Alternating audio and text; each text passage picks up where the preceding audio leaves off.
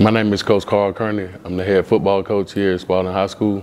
Um, I've been the head coach here for the uh, past two years.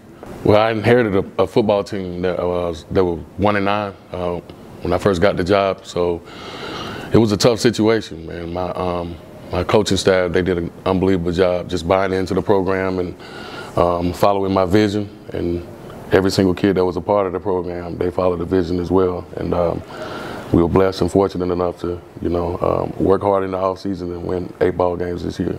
Well, the first thing we had to change the culture.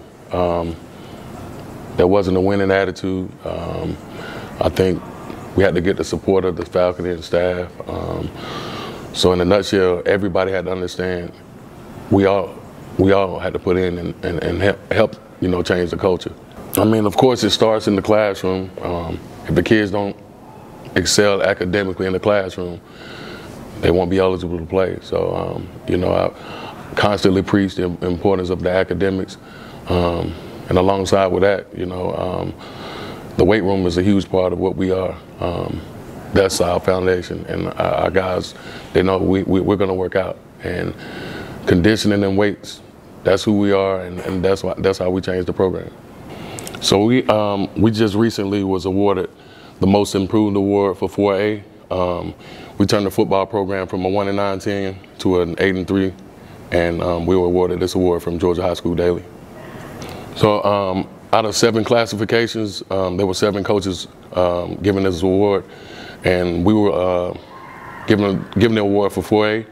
Um, we had the largest, the fastest turnaround for 4A, and that's how we were named the most improved team. I'm extremely honored to receive that award, um, but I want to actually thank my administration, the parents, all of my family and friends that have been, you know, a huge part of what we've had going going into next season, man, we're extremely excited excited about what's going on.